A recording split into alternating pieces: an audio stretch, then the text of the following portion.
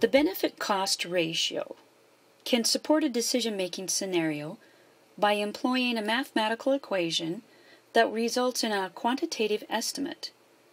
We use this estimate, like an informal crystal ball, to scope out the benefits of a particular situation against the costs of the situation.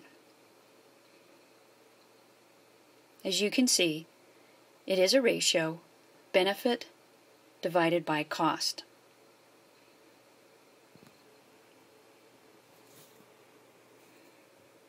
It looks like this.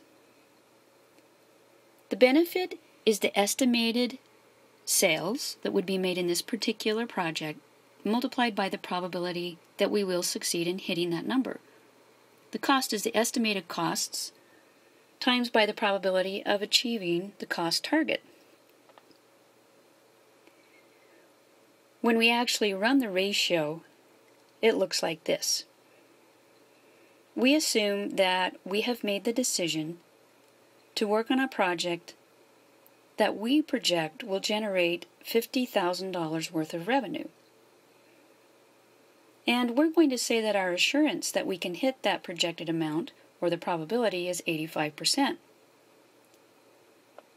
We run the top portion of this equation by multiplying $50,000 by 0.85, and the expected revenue is $42,500. Now let's go to the estimated cost. We calculate that this will be $6,000 worth of costs to create the project and the probability that we can keep the budget at that amount is at 90% certainty. When we run this part of the equation, we see the expected value of costs is $5,400.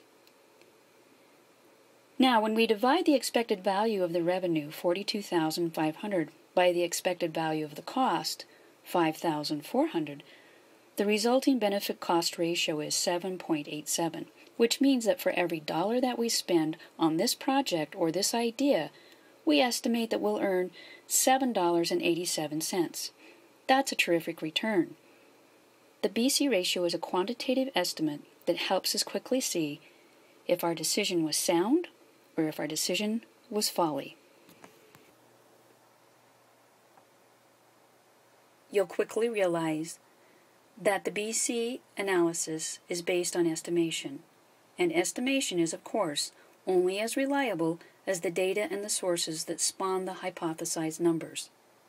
Use the BC analysis as a back of envelope, informal means of checking out a decision's wisdom.